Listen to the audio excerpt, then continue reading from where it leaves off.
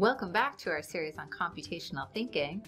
In this section, we're going to program a motor, a servo, and a sensor, which is kind of a lot to cover in one video. So instead, we'll be splitting up the content over three parts.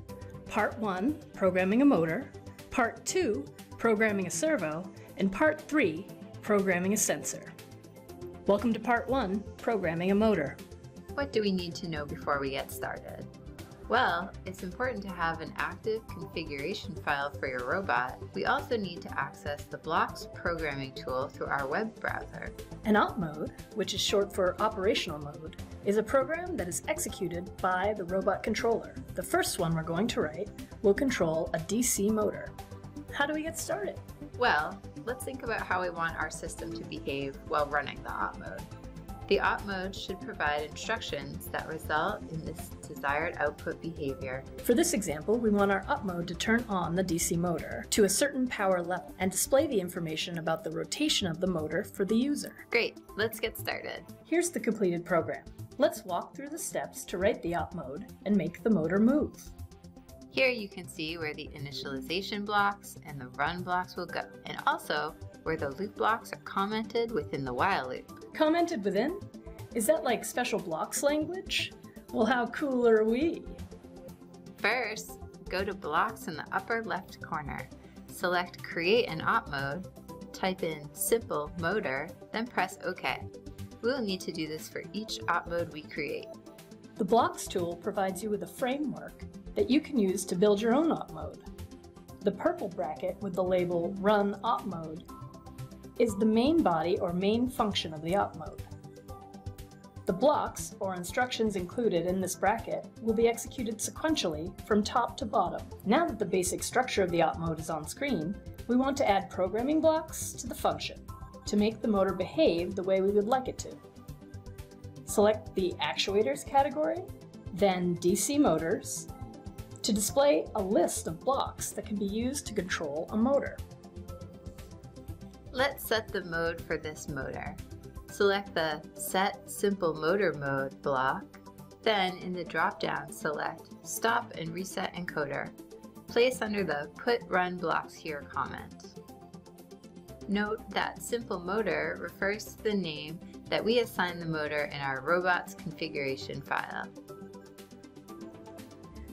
Go back to Actuators, DC Motor, and select the Set Simple Motor Mode block again.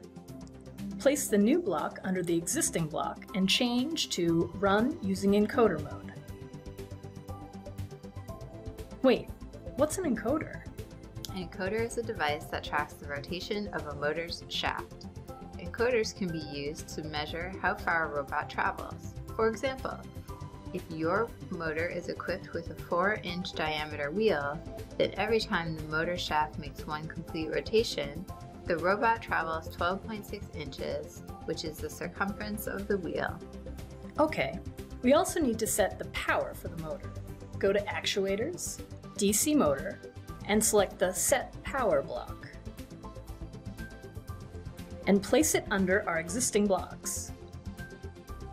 Change the power level to 0.3. You've completed the blocks that will turn on the motor.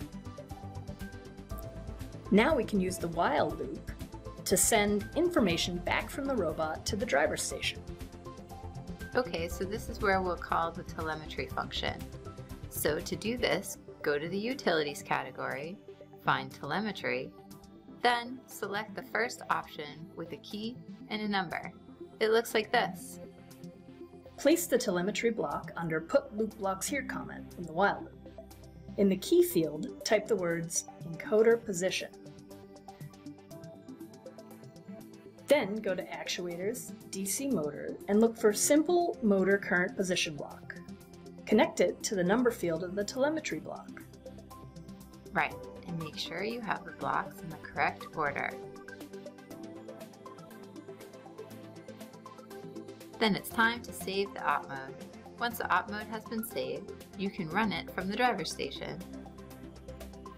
On the driver's station, select the arrow on the right, then select Simple Motor. Press the initialization icon, then play to see your motor continuously move. Press stop to stop this movement. While the motor is moving, you should see the current position of the motor displayed at the bottom of the driver's station screen. Congratulations! You completed your first op mode. Don't forget to join us next time for part two, programming a servo. Until then, goodbye, Bye, everyone. everyone.